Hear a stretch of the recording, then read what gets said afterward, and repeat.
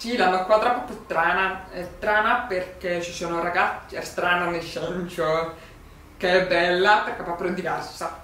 Sono ragazzi che sono sordi con le protesi, sono ragazzi con impianto, sono ragazzi che non portano nessun ausilio, sono ragazzi che segnano, ragazzi bilingue, sono ragazzi che parlano, cioè ma c'è proprio un misto, sono sordastre, ci sono ragazzi sorde profonde, ragazzi che sentono abbastanza bene Insomma un misto, è un misto ed è bello perché comunque non c'è differenza.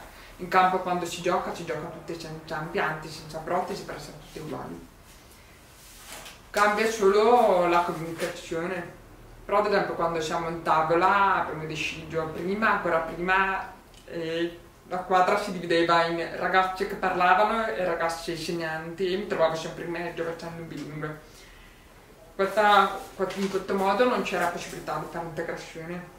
Quindi abbiamo trovato un sistema, ad esempio, ci disponevamo attorno al tavolo da là, quella che si chiama per ordine alfabetico. Quindi ci disponevamo, quindi io, ragazza segnante, mi trovavo davanti con una ragazza che era dutta. Ah, e adesso, adesso cosa facciamo?